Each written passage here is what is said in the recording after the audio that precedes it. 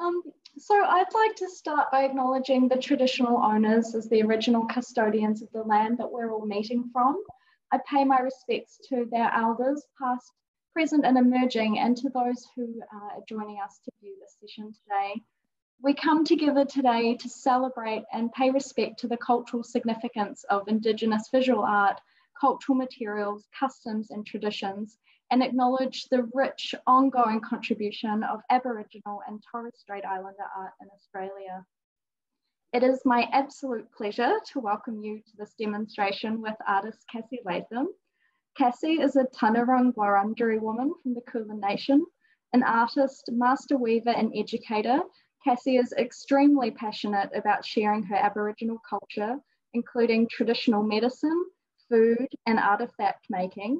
Cassie is renowned for her specialist knowledge of native plants and bush tucker and for reviving traditional skills through her art. Cassie is an active member of the Indigenous community and has taught her culture, art, and bush tucker for many years.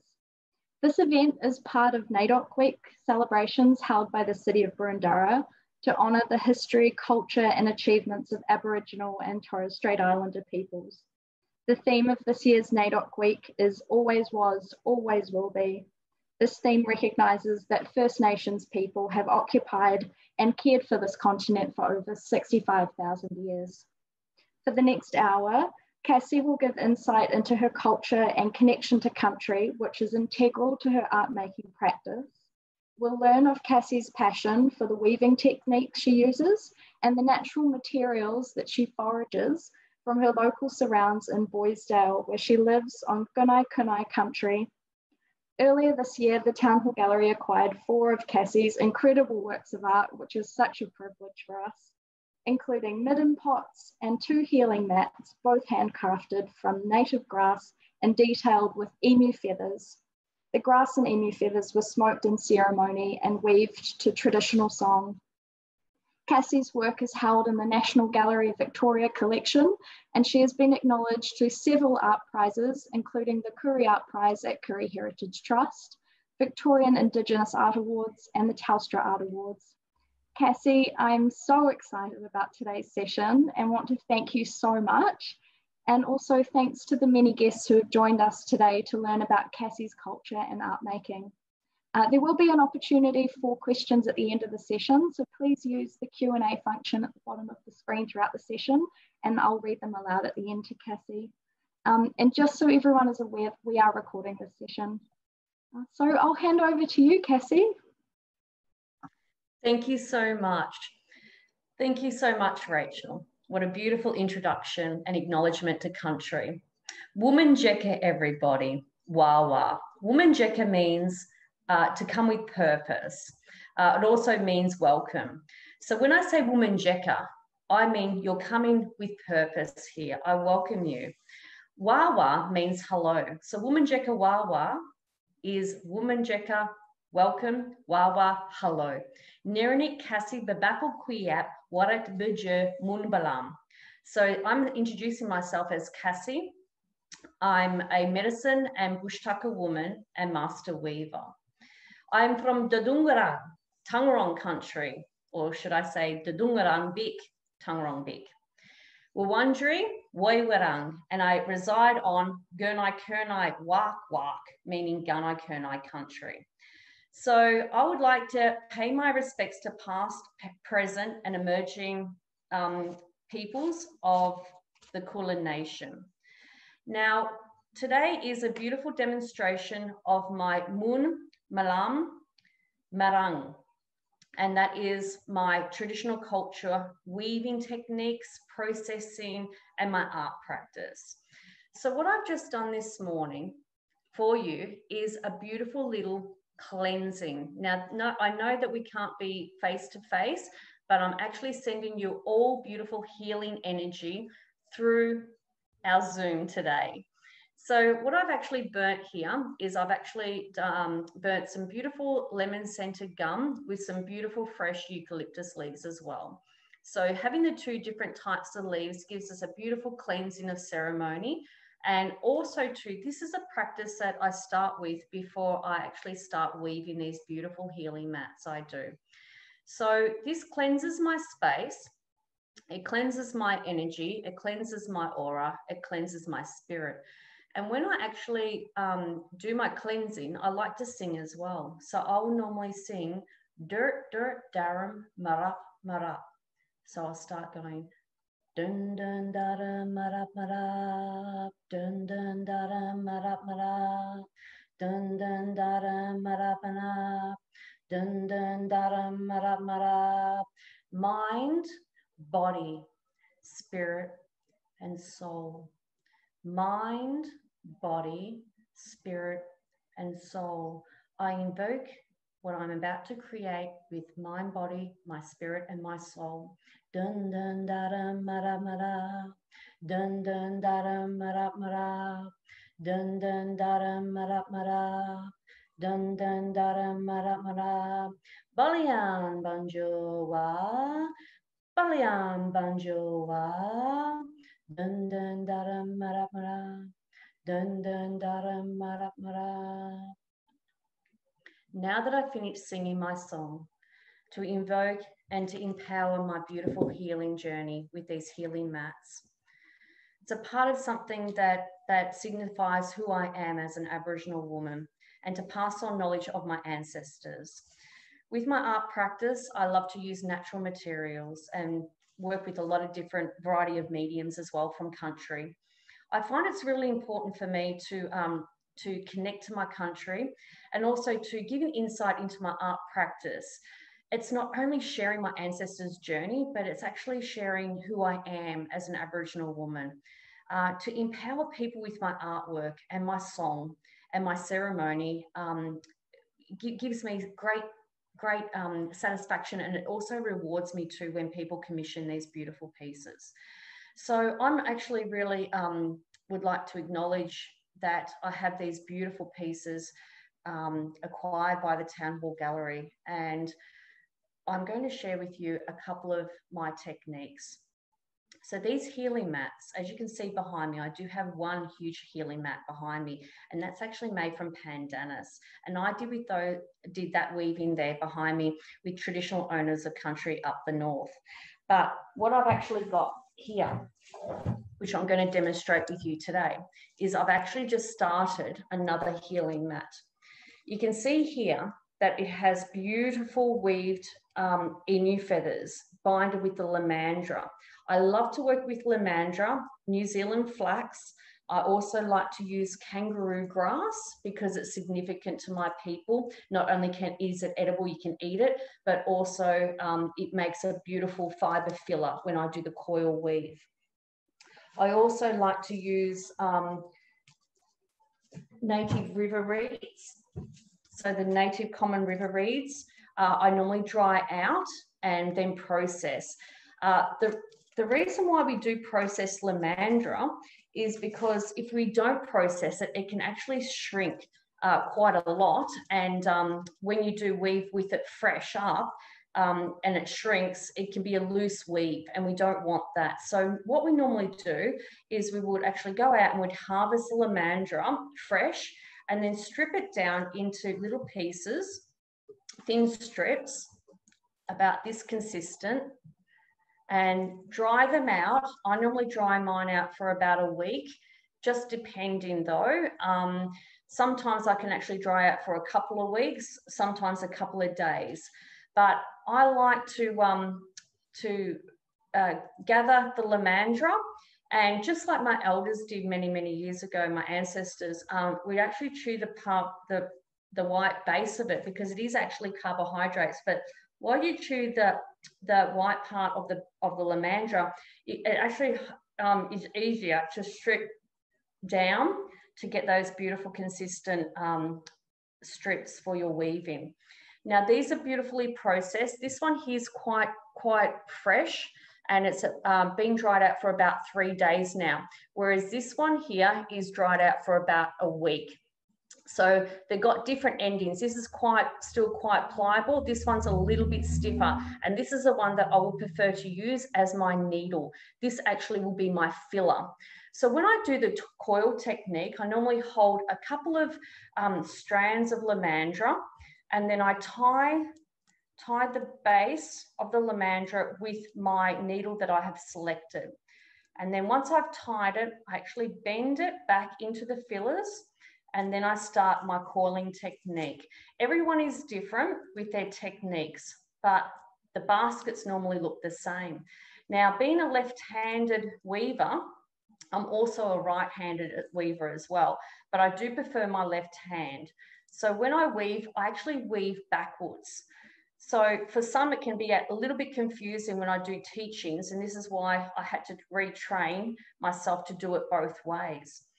So what we normally do is with the, with the beautiful coil technique, um, I go around the back through the loop and then process it into some beautiful um, stitches. And it is a, it's called a blanket stitch.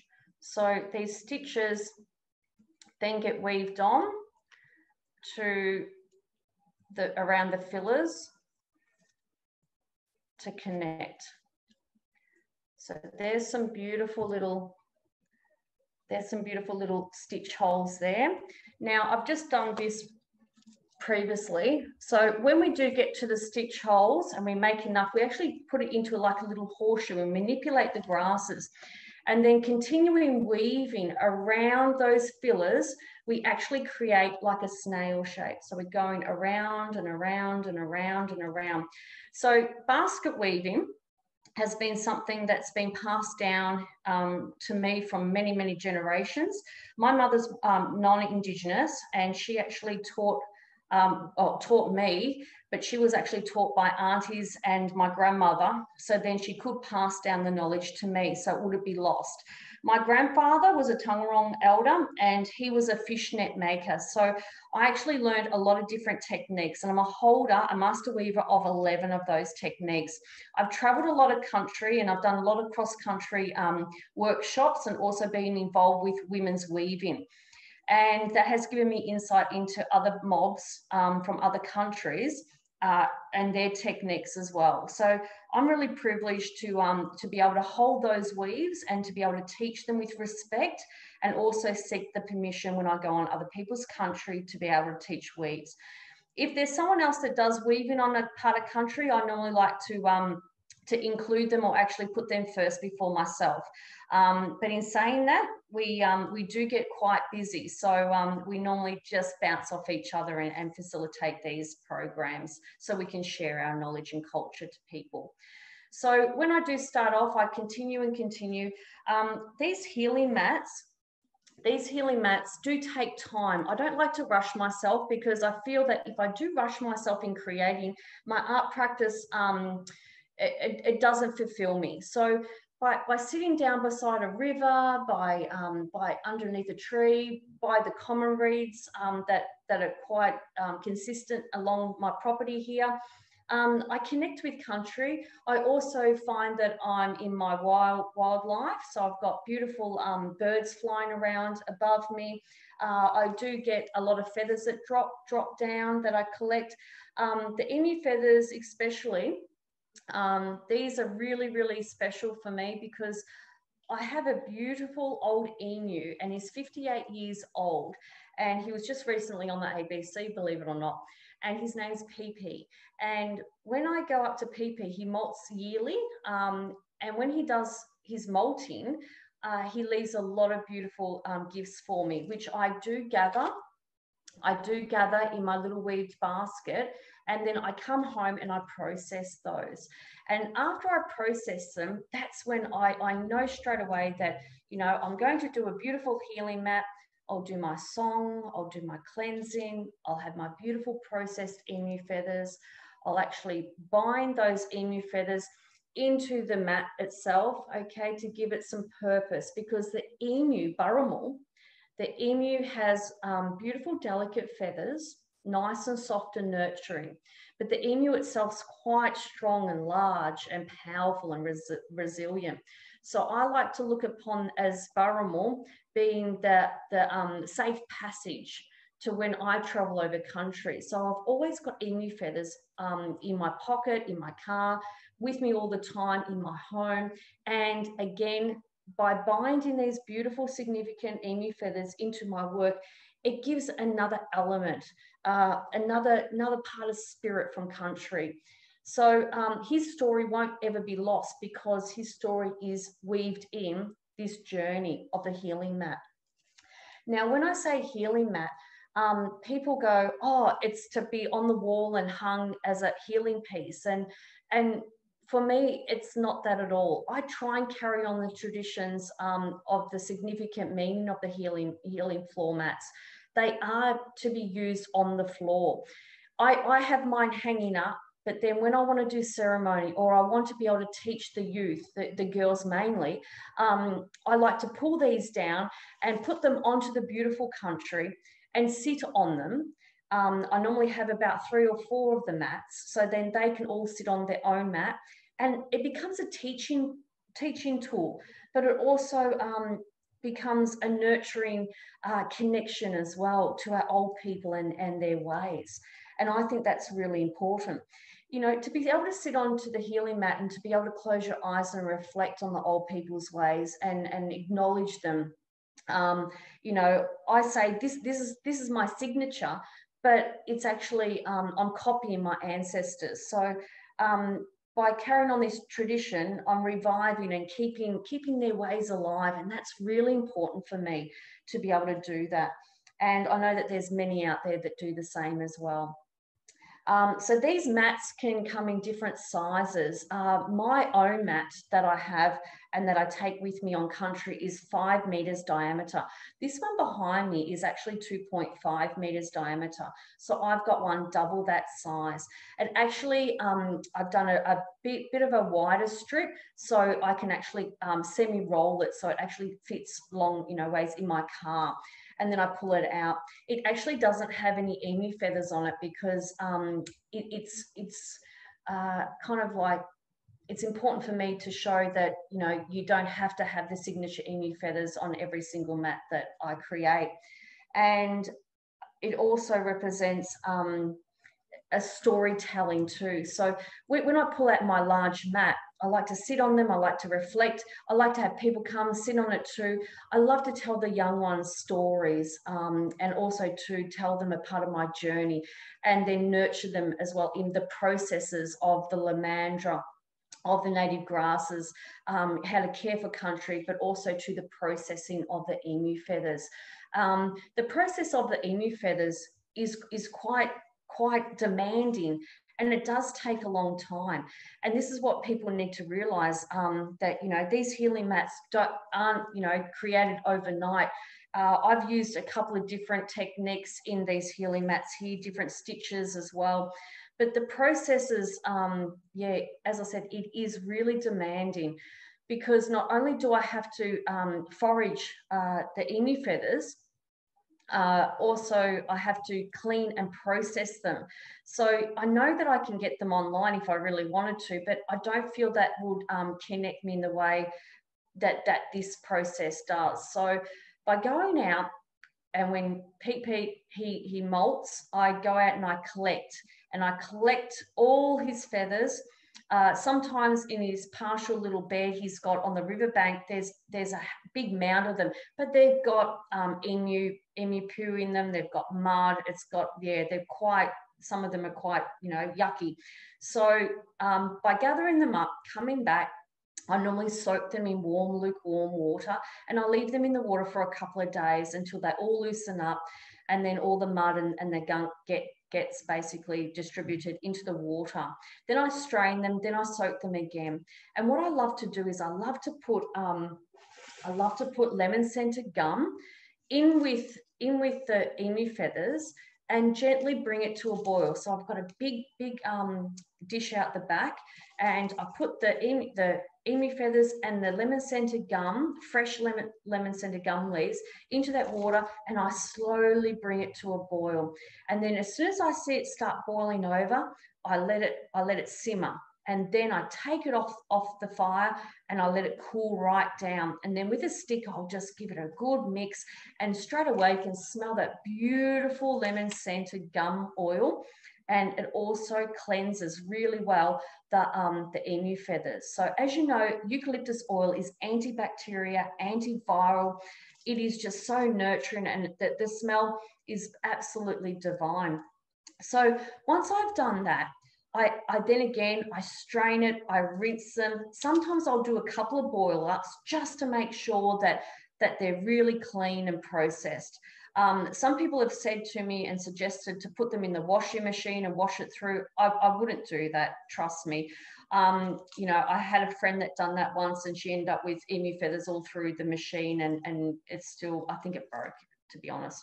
But to keep it natural and um, and in these ways is really important. So I try and do it naturally um, and organic and and to keep this process going because as I said, you can't really put gum leaves into the washing machine. You need to be able to soak them and, and nurture these beautiful um, emu feathers with the beautiful eucalyptus as well. Um, there's also other um, processes that I do as well. Uh, with the tips of the emu feathers, uh, they do have still a bit of the oil from the emu um, that you can actually roll your, your thumb and finger around as well. And that actually, basically it gets quite sticky and it actually nurtures your, your fingers too. But when I've actually got my, my emu feathers and I've finished processing and I'm ready to bind them to actually add to the um, emu healing mats, the um, sacred healing mats, I gather all the emu feathers together by the tips. Okay, like, like so. And I just give them a light little twist. And I do normally sing as well when I do the twisting and I sing a, a little emu song. And then I process either some kangaroo sinew or what I've done here is I've got um, some stringy bark twine and it's actually been binded with wax. And that's another process in itself. So my art practice, um, it's, it's about um, belonging, identity, connection, uh, coming up with different solutions um, to natural ways rather than going to a shop and buying it. And that's what I find that, um, you know, uh, empowers me. So by going out and collecting bark from the trees and processing the bark with um, with beeswax and doing a fine twisting technique of string making, uh, I actually come up with my own twine. And, and this can normally take about two to three months to actually make a ball of twine ready to process um, and bind these emu feathers. So the tips of the emu feathers, I bind around really softly, really slowly, try and keep it nice and consistent. And then I just tie off into a little knot. So I tie off into a little knot and like that. And that's, that's binding. So binding up, down and then a little bit up. Uh, normally I, I can wax this with a little bit of beeswax um, I normally bind that the tips or otherwise I just leave it because what happens with my, my wax string is that the wax will actually hold that all together and keep it nicely in place. And it's quite sticky still. So I'm actually manipulating those tips. So then that will hold the emu feathers. And this is what I do for my, um, for my dancing as well. Um, when I make my emu feather skirts or adornment making. So my art practice takes me into different um, areas of creating. So now that I've got nice two, two nice little pieces of string coming up, um, normally with one bundle of emu feathers, I'll probably put about 30 into one bundle. So um, in the significant emu feather healing mats that you'll see, um, you know, either online or on my Instagram, you'll see that they're that surrounds the mats. Um, there's probably normally about oh, 15,000 to 20,000 individually binded emu feathers um, into bundles and, and then hand sewn onto the healing mat itself. So what I actually do is when, when I actually bind, I, I make my own needles out of bone, kangaroo shin bone. So again, to keep it nice and traditional and sacred and meaningful for me, I like to create the old ways, not the new. So by, by getting a shin bone, I um, grind down on my stone tools and then the little hole I punched with another bone. So I punch through and then with the sandpaper fig tree, the leaf is like sandpaper and I actually stick it in and I sand it back. And then again, with the bone sharpening, um, grinding stone tool, I'll, um, I'll grind away. And then what I do is I just thread, thread my, my string through, okay, and then I weave, I'll just do it backwards here. I weave through, I hold it, I weave back down, and, and then I tie on, and this will become a part of the journey of the weave mats. So every single stitch hole, there's probably, as I said, there's probably about oh, 15, 20,000. It, it, you know, it, it can be amazing, you know, when you really do count up how many stitch holes around the ends. But um, yeah, the, the emu feathers will get sewn into each individual hole. Sometimes I skip holes in case, um, you know, there's too many feathers. I don't want them to bunch up too much. But I go around the edges and I sew, hand sew um, the beautiful emu feathers onto the backs of these mats. And then what I do is once I have actually completed all the feathers around, and I'm really happy with the, with the outcome of the mat, and I'm really happy with the bunches of the emu feathers that have, have surrounded the mat, I do a beautiful sacred ceremony. And as you can see here, I've got my handmade twine with, with my, um, the, un, the, the down uh, baby uh, galah feathers here and I have a white mark and then I have a beautiful ochre yellow as well. And this is what I like to do. I like to paint up, I like to wear my headpiece and then I like to sing in ceremony.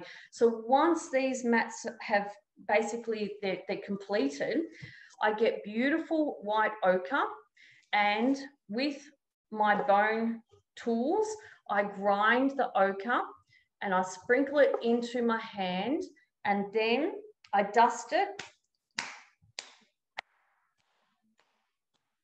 over the mat and then I smoke it in ceremony. So I'll take it outside, I'll dust it with white ochre, I'll smoke it in ceremony, meaning I'll sing a beautiful, empowering spiritual song and I'll smoke it all.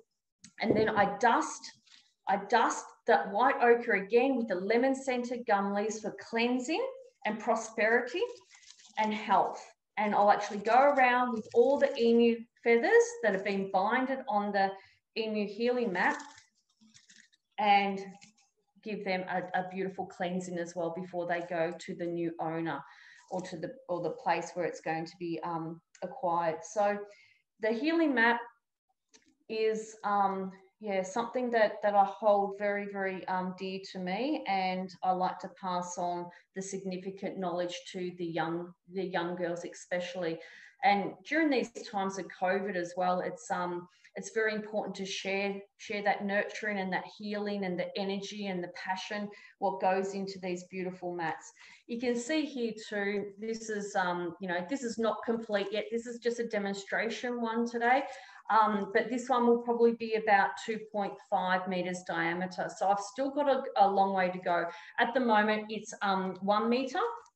And so I'll continue this journey and I'll keep creating and going around using the beautiful coil technique. So it's a simple blanket stitch, coiling around the beautiful um, fillers. I will be binding more emu feathers. So how I bind the emu feathers into this is um, I'll get the get some feathers. This isn't just a little example here, a bit of a demonstration. I'll collect the feathers. It doesn't matter whether they're back or, you know, I don't have to worry about them too much if they're, they're a little bit shabby at the start because what they will do then is they will actually bind in. I'll wrap them around and bind them into, into the grasses here. Okay, and you'll actually get little pieces that will come and stick out. Then I'll get, I'll get my Lomandra,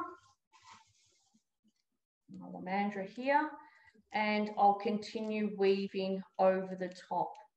So going through that stitch hole. So there's no needles. We don't need to use any needles because the, the tip is actually a needle. We get the scissors to make it a little bit sharper, sharper there, and going round the back through the loop, left to right, and pull it up and not so tight. So weaving. Now with the lomandra, when, when I actually um, dried out and process them, I do have to soak, soak the grasses in warm water just so that they're, they're easy to work with again. So weaving.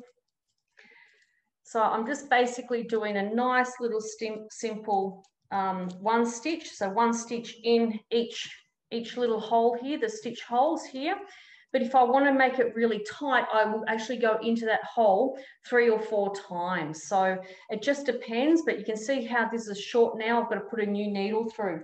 So that's where we always have to have Lomandra ready to go again. So over the top of the old one, pulling it through, the ends, the end and the new go back into the fillers and around I go again to connect a new beautiful needle and this is just gorgeous. This is working so beautiful. So I love working with Lomandra the most because um, it, it, just connects with me with you know my ancestors old peoples. Um, it reminds me of my grandmother. My grandmother used to always have Lomandra hanging up in the house and I still carry this forward today. And it's um oh, it's just it's just a beautiful nurturing plant. I, I just love I love growing it uh, I love harvesting and I just love processing the, the flower heads to, to actually make flour too because people just don't realize that Lomandra has many, many um, uses and you've got to utilize them, you know, to, to eat, to make, to create. It's just beautiful. So the demonstration here today is I'm using Lomandra and emu feathers.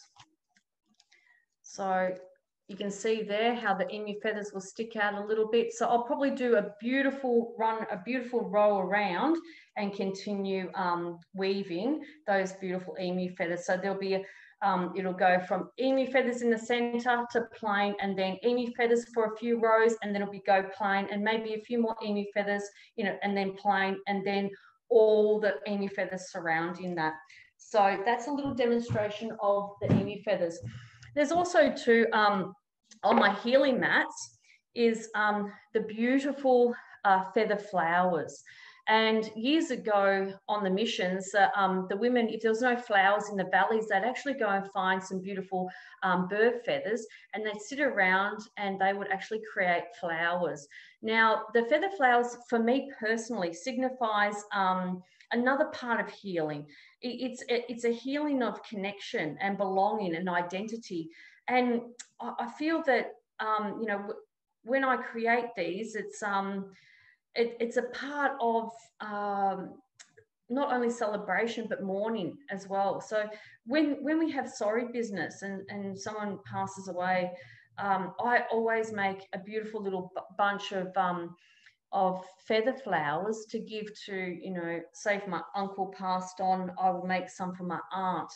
It, it's just something that, that I've always done. And even as a little girl, I, I, collect feathers and, and I bunch them up into a little bundle and I bind them and, you know, I put them behind my ear. I wear them in my hair. Um, I even make necklaces. It's just something that's, you know, I, have really nurtured um, for many, many years and even in my ceremonies and when I do my dancing, um, you know, again, I'll, I'll, collect and I'll gather um, in my creative art practice natural, you know, palms and I'll get the fibers and, and bones and again have the, the feathers of the native birds um, hanging down as a sign of protection and nurturing and, and safe passage too. And as I said, everyone has their own story. Um, you're going to come across other Aboriginal female artists that will use feathers in, in different ways and, and their story will be similar, but everyone's got their own personal journey and connection and belonging with them, I think. And it's even like with the river reeds and, and other, other adornments I make, um, you know, I, I use possum, possum fur, Uh, I use snake bones, uh, waxes, and seeds, and echidna quills, and you know every animal um, has a significant story to it, and to be able to connect with that and to create and include that in my art practice gives me, um, yeah, gives me that spiritual connection to why and how and before colonization. Um, yeah, it, it just you know yeah, just whether it's gift making or or dance or ceremony or, or a story. So it gives me that that insight into their lives as well. And my father's always said to me too, you know, to be able to um, to be able to teach and talk about it, you have to experience it. So, you know, I've always been been encouraged to go out on country, to to collect um, to embrace all the organic materials and to bring them home and and and just play around with but but listening to, to the spirit you know who, who guides me every day um, you know whether it's right or wrong you know I'll, I'll, find some things and and sometimes i won't take from it i'll, I'll just bury it and, and do a beautiful healing ceremony because i know i've got a feeling that i shouldn't shouldn't touch that animal or or bird um, sometimes I, I find things you know on my walks and hikes and and i'll just get this all of a sudden this empowering feeling that I need to collect that. I, I can take that. So I, I take what I need. I'm never, I'm never a greedy person. I only take what I need and to, to create with. Because if I took too much, I'd have to create with it, you know, and and or otherwise it'll just sit in another tub. So um yeah, it, it is. It's um yeah, 65,000 years of culture, definitely. And um, I'm just reading a beautiful little chat here. It's um it is it's so it's so important to um you know to learn about this and and you know hear from other artists as well and and and nurture. And at the moment we're actually going to go to back to rachel because she's going to show you a little bit of a slideshow. And then i'll come back and i'll talk about my next journey and my next path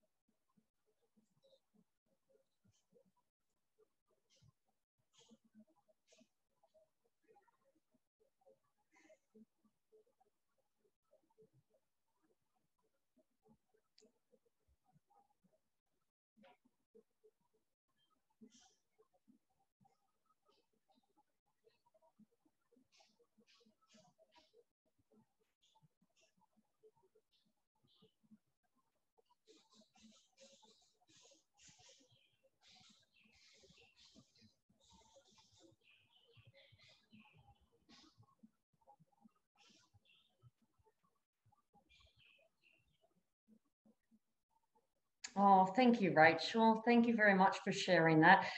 So, um, as you could see, that you know, I love working with organic natural materials, and uh, that was just a little insight into my life. And I'm really excited that um, I have some participants here today that um, you know I love and I adore, and and we weave, and it, it's just yeah, it, it's just beautiful to see some um, some little comments that they they know that I've got just got this beautiful native budgie, um, Beaky, Mr. Beaky, and I've actually taught him how to weave. So with my journey, I, I do unfortunately overdo it at times.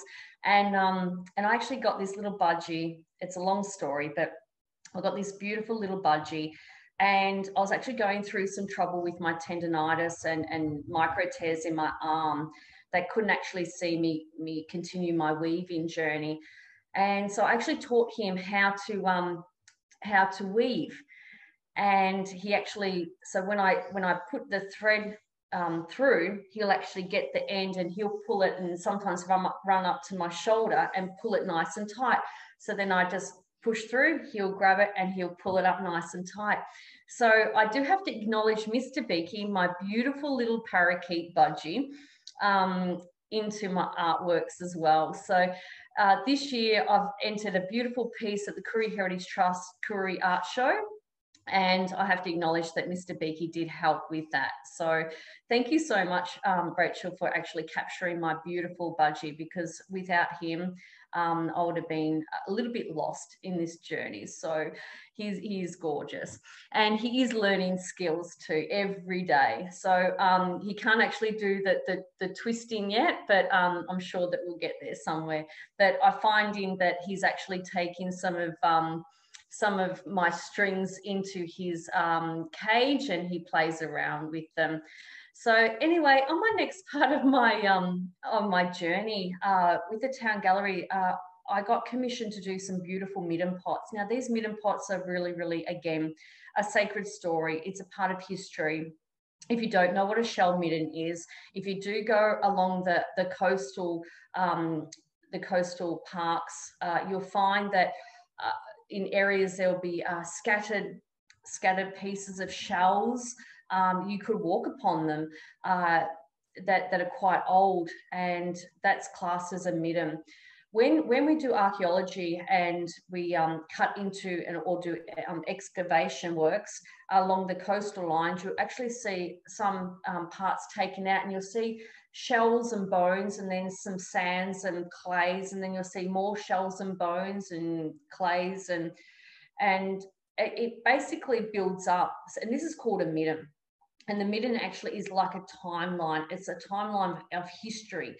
And when i was out on this um, ranger program i was doing a little bit of archaeology um, with some rangers and we we all went out on country.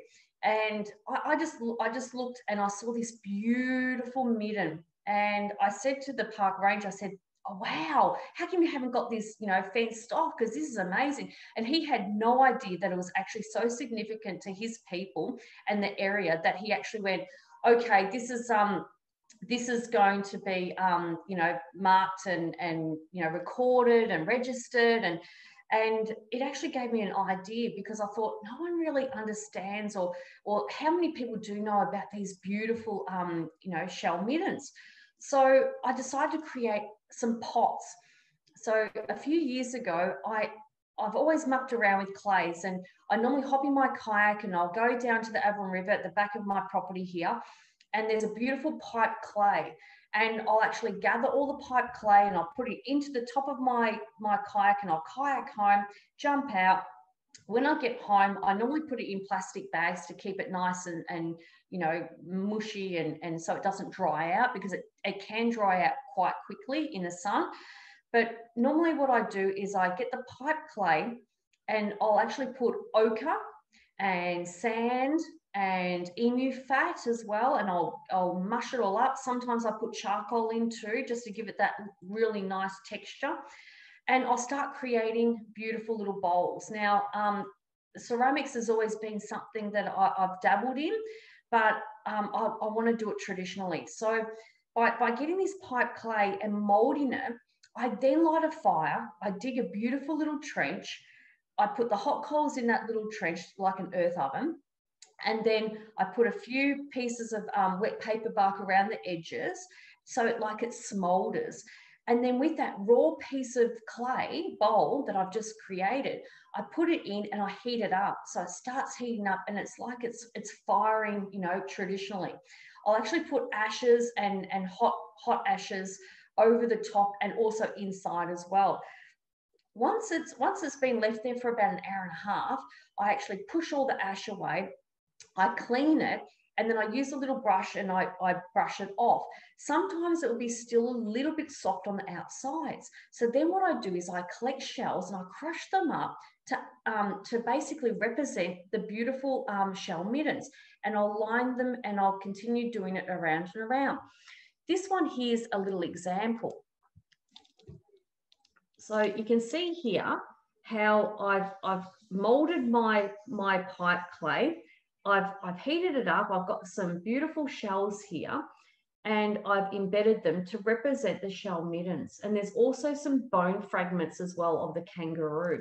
So normally when I do go and find bones, I normally find roadkill on the side of the road. And if it's decomposed enough that it's got beautiful sun bleached um, clean bones, I'll take them home and I'll respectfully crush them up and I will also to add them into the beautiful pipe clay while it's still soft. Once it's once it's all been embedded with the beautiful shells, um, I'll actually sit it out into the sun and let let the rest air dry. So once it's completely air dry, um, then I seal it. I seal it with fat and wattle sap, so it, it all kind of like sticks and molds, and I know it's not going anywhere. This is a lid. This is a lid and it's got two dear little shells on the top of this lid, but you can see the charcoal pieces representing fire.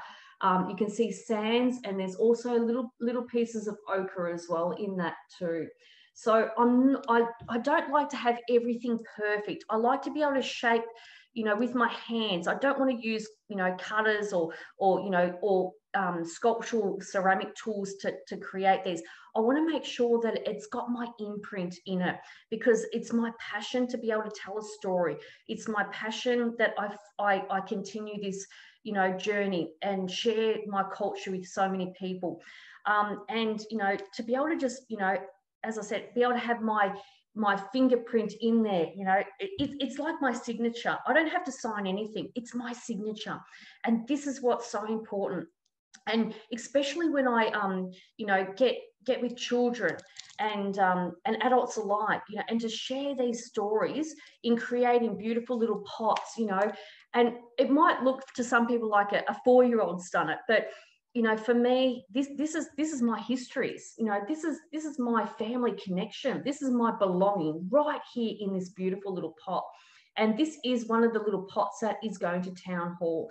Now, as I said, little things flake off here and there, but it's meant to be. If it doesn't stay on, it's not meant to be, but it's going to tell a story. And when people look at it, they'll see all these different little, you know, pieces, different parts, you know, because many years ago we didn't have, you know, um, or before colonization, we didn't have, you know, landfills and tips and all this, you know, rubbish and stuff you know, all we had was country. And and if people can kind of um, take that upon themselves, like, you know, you know, the recycling aspect and, and nurturing country and not littering and and keeping country clean, you know, um, yeah, we would have a better environment and and it would help our climate and everything. So they, these do tell a story about climate change as well.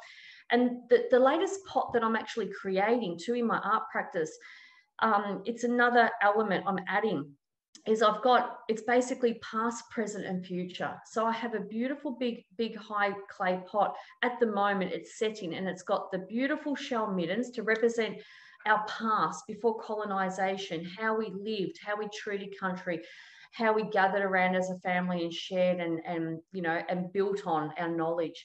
And then, and then the second part, it's got um, you know, the present, it's got plastics and metals and glasses and everything to represent that colonization. So we've got the, uh, the, um, the past with Aboriginal um, peoples only, then colonization with all the glass and the plastics wrapped around, and then the top is left bare.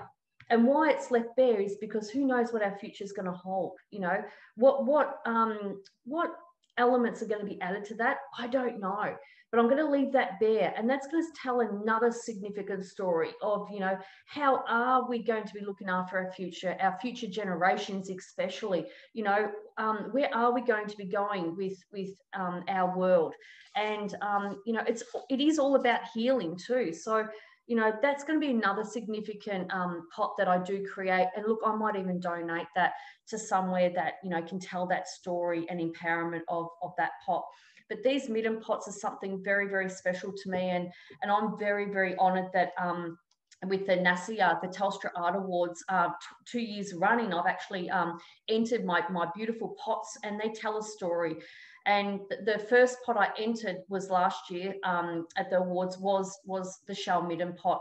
And the beautiful story and what people love to see um, was with my artist talk. It actually had my beautiful little grandson's um, fingerprint in it because I left it alone to dry out, and he came and he's very very inquisitive like his grandmother, and um, and he loves to be on country and explore and feel the elements as well. So he went out and he saw that I created this beautiful pot and he was so intrigued by it that he actually picked up the lid and his fingerprint, um, because it wasn't um, fully dry, his, his little fingerprint was marked in the lid.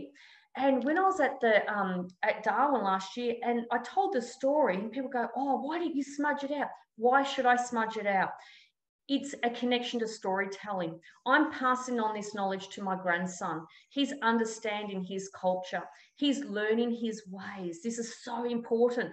And why would I smudge out his fingerprint? Because it's his culture too, and it's his story and his belonging, his identity. So that's why I kept it there. This year, I'd done a beautiful um, ochre mud clay pot with stringy bark and, and earth elements and beautiful wedge-tailed eagle feathers like this. Okay, because I took him out on country. We went up, we looked at Big Bunjil's nest, and down came lo and behold, down came two feathers and they landed in the ground. And that's when I story told him. I told him our creation story. The Kulin Nation men were made out of bark from the stringy bark tree. The women were made out of mud, Mother Earth, okay? Um, Bunjil was our ancestor creator. He came down in a meteorite, landed, it landed on Earth, bam, out he came, okay? And that's when he made the valleys, rivers, just like the rainbow serpent from another time, another, another part of community, another part of country did. Bunjil for our Kulin people did all that mountains, valleys, rivers, animals, people. So, Bunjil, our, our creator, when we found these beautiful feathers, I said to Flynn straight away, we have to take them back. And where are we going to put them? And as soon as he saw that big pot that had no feathers, he said, Cass, we need to put them in the pot because that's the Bunjil's ancestor creation story.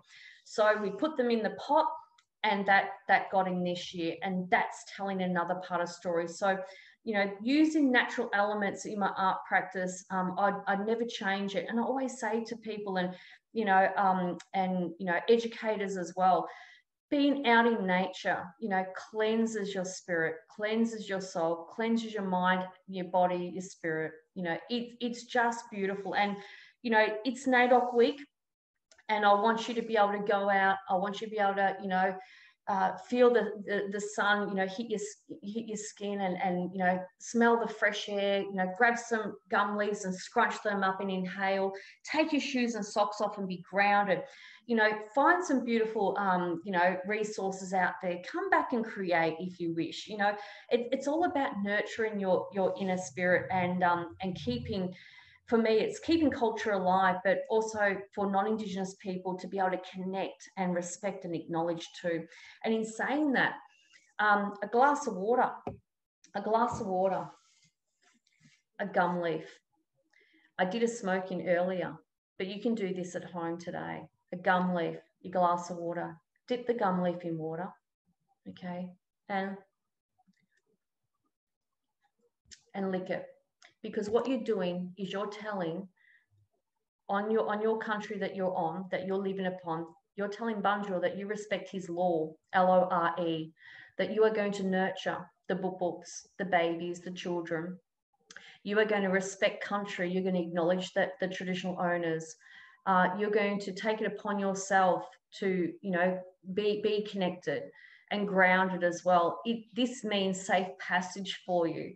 So whenever I travel over to countries, um, Gunai Kurnai country, um, Taungurung country, Wurundjeri country, Woonwurrung country, uh, country, uh, I always take a gum leaf with me and water and dip it, lick it, because it's not only leaving the bad behind or negativity, it cleanses me, but it also gives me the um, the go ahead, the safe passage to go on that country, and and showing and respecting spirit that I am here in um, good intention, and I'm going to respect Bunjil's law. So that's something you could do today. So I think it's really important that everyone celebrates NAIDOC Week, and um, I really like to thank um, before we do go to our question time.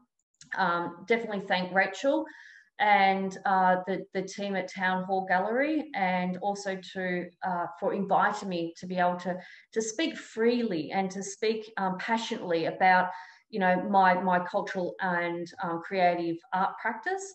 I've got so much I could talk about, but such limited time, unfortunately. And also to, to the participants who've taken taken time out to come and join you know us today and and especially me and listening to me.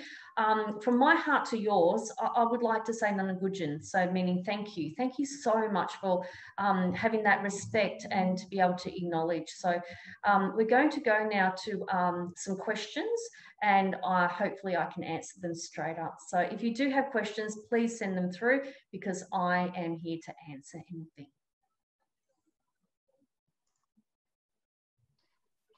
thank you so much. That was a really incredible session with so many um, just rich, particularly uh, insightful messages that we need to take away about you know, protecting our, our environment and respecting um, Aboriginal and Torres Strait Islander culture and history.